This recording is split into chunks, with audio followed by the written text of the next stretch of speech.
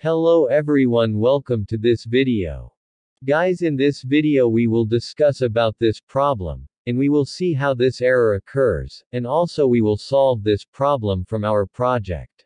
And also in this video, I will clear confusion of a subscriber, this subscriber comment this question in previous video. Basically this error occurs, when you are trying to open student dashboard, with a student ID number, which student ID number starts from 0. Let's see practical example. Here I will open welcome page of our project.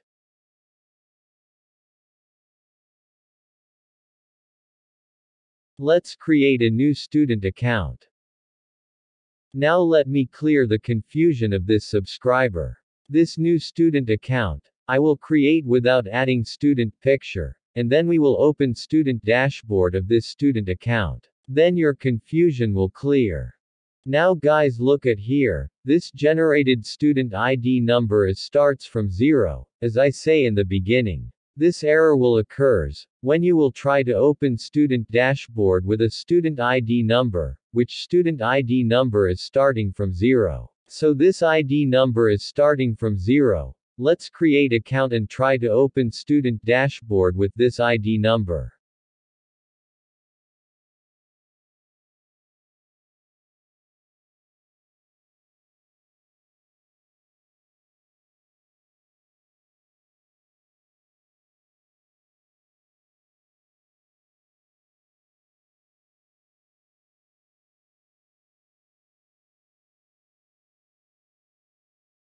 Here you can see, student account successfully created. As you know, in the previous video we had linked student login page, with student dashboard. So we can open student dashboard simply by entering student ID number and password in student login page, or we can directly access student dashboard, simply by passing student ID number in student dashboard function. This student ID number we are using from previous video. Now if I will open student dashboard of this student account using this ID number, then no any error will appear.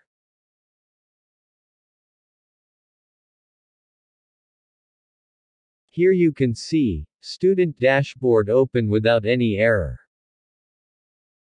Now let's if I open student dashboard of a student account, which student account we have create recently. Here I have paste student ID number of new student account which we have create recently. And here PyCharm editor highlighting a problem. This because this ID number leading 0 before integer numbers. This is a rule in Python we can't lead a 0 before integer numbers. So here I will pass this ID number in string form.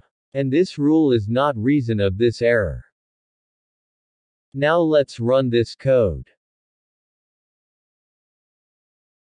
Here you can see, a error occurs, index error, list index out of range. This error will occurs, when you will try to open student dashboard with a student ID number, which student ID number is starting from 0.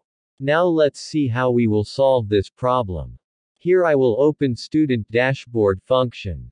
Now let me explain how this problem occurs. Actually the problem comes from SQL query. Let's see. Basically when we will execute this query, for fetch student details, then problem will occurs with this ID number.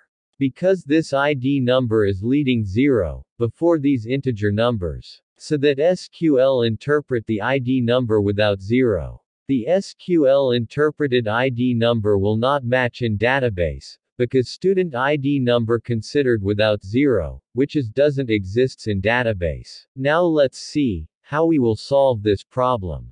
For solve this problem, simply we need to enclose the student ID number, in single quotation marks, this way we'll compare student ID number, as a string, and now the leading 0 in starting, will not cause any issue. And same thing we will do with this query. I highly recommend to you, Find all the queries from our project code, and check each of these. If we are checking condition in a query with student ID number, Then enclose the student ID number in single quotation marks, for prevent further problems. Now let's test problem is solved or not. Here you can see, problem solved, student dashboard successfully open. And I hope this subscriber confusion cleared.